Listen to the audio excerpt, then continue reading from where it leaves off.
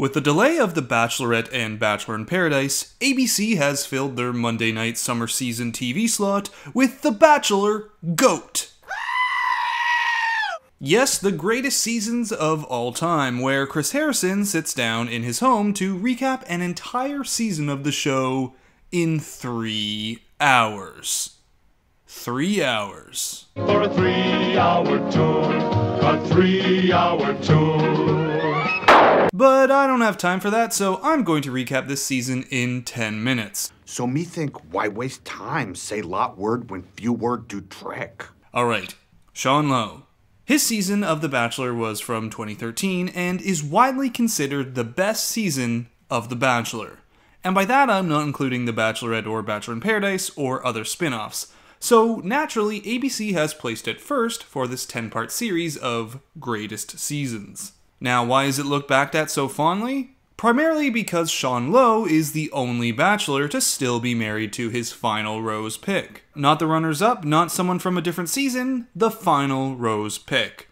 Now, Sean Lowe was originally from Emily Maynard's season of The Bachelorette. He got in third, with Emily stating upon sending him home that she just dumped the perfect guy. And Sean's nice guy attitude packed into a beefy bod led him to become the Bachelor and America rejoiced.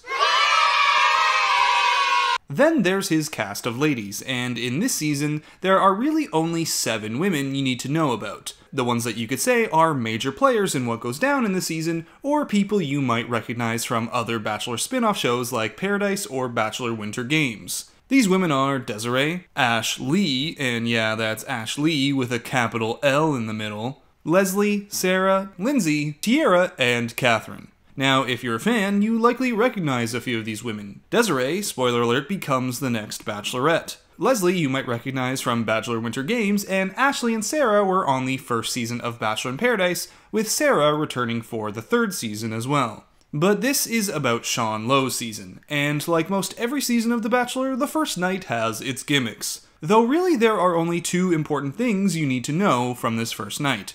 One is Lindsay, who really makes a first impression by No showing up in a wedding dress. I thought you're not supposed to wear white to a wedding. I know, but there was an emergency.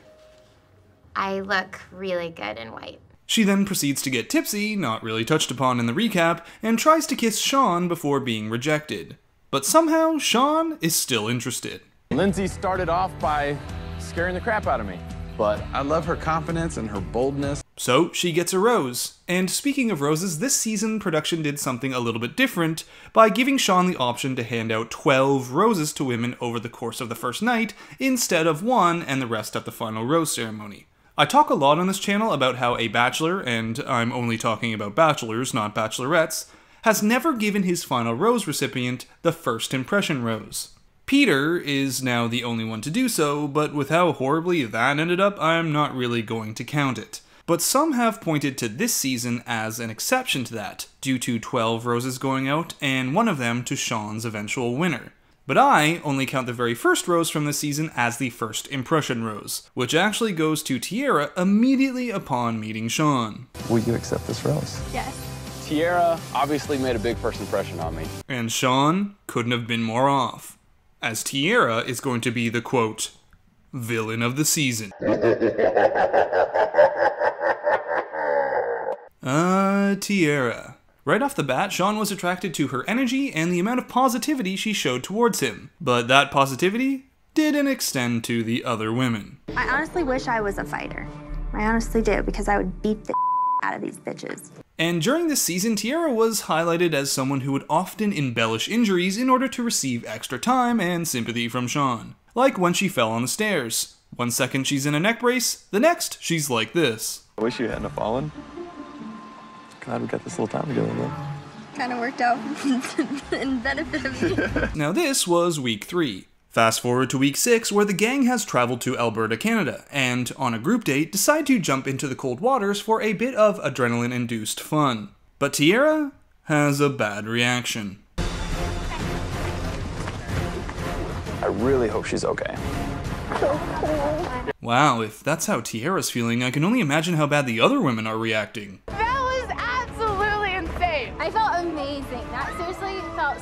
Incredible. Like, I would do it again. Naturally, Sean gives Tierra more alone time to see how she's feeling, and the other women start turning against her as the Bachelor contestant who cried wolf. And as the season goes on, the flack against Tierra grows and grows, so much so that Ashley pulls one of the biggest Bachelor mistakes ever. She snitches to the lead on a one on one. And when Tierra finds out, it leads to probably the moment she's most remembered for this season. Straight stairs, raised eyebrow. I can't control my eyebrow. I cannot control my eyebrow. I can't control what's on my face. Ultimately, though, Sean decides he doesn't want to be Mr. Sparkle. Tierra, you, set up have a this sparkle. table. They said, Tierra, you have a sparkle. Do not let those girls take your sparkle away. And so he sends Tierra home that week, week 7, right before hometowns. Now, of the remaining important players, Sarah sends herself home during the Canada trip, and Leslie, who they had kissed Sean for over three minutes in one of the least romantic one on ones ever, which, by the way, they later replicated in Bachelor in Paradise, Leslie gets sent packing right before hometowns as Sean felt she wasn't being open with her feelings. And at the after the final rose, Sean expressed that he probably would have given Leslie a rose if she had just opened up a bit more. Which leaves our final four Ashley, Desiree, Lindsay, and Catherine. Oh, and Chris Harrison here also checked in on Sarah, who now has a boyfriend of three years. Now, during Hometowns, Sean has a super easy date with Ashley. Lindsay's dad is a two star general, but gives him his blessing. Catherine's sisters are skeptical, but the hometown goes alright. And the real drama occurs with Desiree's brother. Oh, no, I think you're just a playboy. You know, you're just having fun with the circumstances. I don't know what to make of this guy. And at the end of the day, Desiree is sent home. But don't feel bad for her, she quickly became a fan favorite, especially after the series of punked style pranks that her and Sean pulled on each other that the special left out. And she went on to be the Bachelorette, where this atrocious and wonderful nightmare was made. Last time you saw me, I was crying in a limo. Sean sent me home and put my heart in limbo. Desiree actually ends up marrying her final pick in the season and now has a family with him, so she gets her own love story. Back to Sean's season, and from here the show moves on to Thailand for the remainder of the season. By the way, for this Fantasy Suite week, there's not going to be any hanky panky, as Sean Lowe is actually a born again virgin. So it's just going to be late night chit chats for Lindsay, Catherine, and Ashley.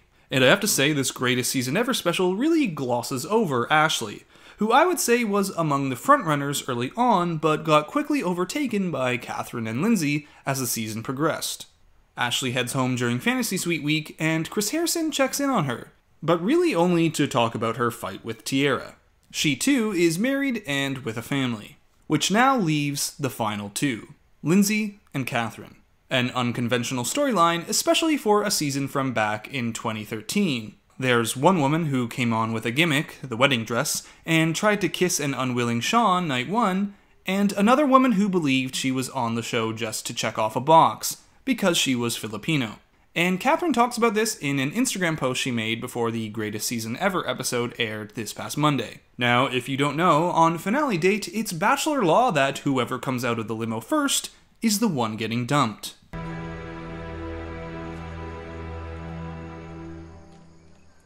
Unfortunately, the wedding dress night one wasn't enough, and Lindsay goes home. And in this moment, she's probably best remembered for not wearing her heels a moment longer than she needs to.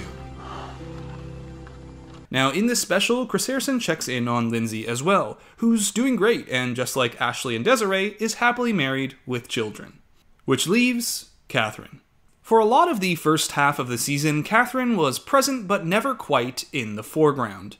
Until week 6, when she receives a one on one date and proves how open she's willing to be with Sean. She talks about how her friend died when she was very young and how much she values life, and she talks about her dad's struggle with attempting to end his own life. And if Leslie not opening up was a bad sign for Sean, Catherine is really the opposite. Being so open and honest and trusting from a very early stage in the show helps Sean see her as more than just a background player in the season, but as a person he's falling in love with. And when Sean proposes, we get what we all tune into this show for something that's been missing from The Bachelor for what feels like a long while now. Catherine. Will you marry me? Genuine love. An honest connection that feels real, not forced. not hidden behind a desire for clout and Instagram followers. Two people who found each other and are happier for it.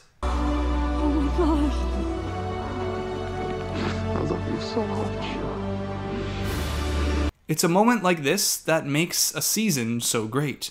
And these two have lasted, now with three kids. And as a result, we have one of The Bachelor's biggest and most successful couples in Catherine and Sean. Are you ready? This is about to happen. I now pronounce you man and wife.